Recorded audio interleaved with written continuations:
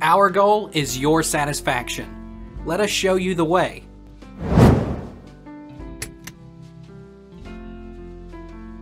Why is my Slack not working?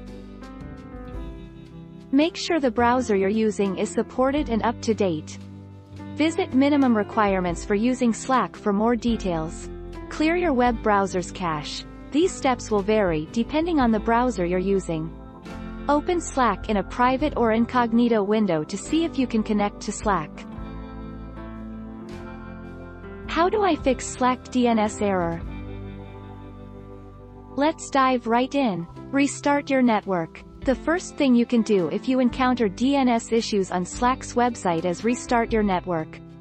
Clear your browsing data. You can also try clearing your browsing data if you encounter DNS issues on Slack. Change your DNS. Check Slack servers. Report the problem to Slack.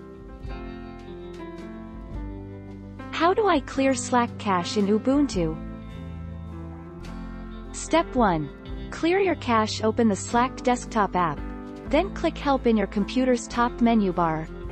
If you're on Windows 10, click the three lines icon in the top left of the Slack app.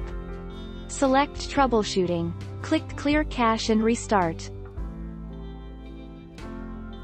Why is my Slack screen white?